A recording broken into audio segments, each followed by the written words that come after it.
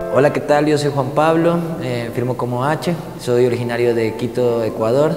Nací en la provincia de Saruma, me dedico a intervenir en el espacio público desde hace casi 10 años. Hace unos meses eh, me licencié en artes plásticas y ahora estoy en Bogotá para traer la exposición Pictoglifos junto con David Quinteros. La exposición busca cuestionar el uso del espacio público y nuestra forma de relacionarnos con él.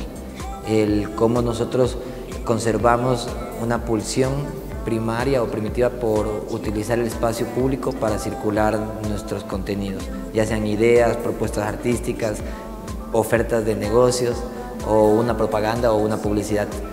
Lo que busco cuestionar es hasta dónde podemos llegar a utilizar el espacio y cómo lo utilizamos. El origen de la vida siempre estuvo cerca al agua o a los ríos. En el tiempo de, los, nuestros ancestros no existía el, el espacio público o privado. Existía el espacio común, una cueva, unas piedras alrededor de un río, una playa cerca donde lavaban o cocinaban. Ellos hacían, justo en estos lugares en donde ellos hacían los primeros artes rupestres, en piedras cerca de ríos donde ellos habitaban o en cuevas en donde ellos se resguardaban.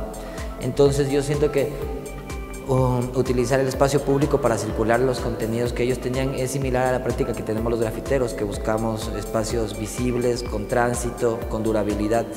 Y creo que mm, nos conectamos a través de este impulso que tenemos por trascender por medio de una impronta, por medio de una marca, una huella, un desgaste, un desgaste. Los invito a que vengan un rato al museo, se den una vuelta, hay un par de exposiciones, está la de pitoglifos, también está una línea de polvo que está súper recomendada y pues les recomiendo que vengan a aprovechar de este espacio que es arquitectónicamente increíble. Me pueden seguir en HHTM en Instagram o pueden revisar mi página web en hvallejo.com y pueden tener más información.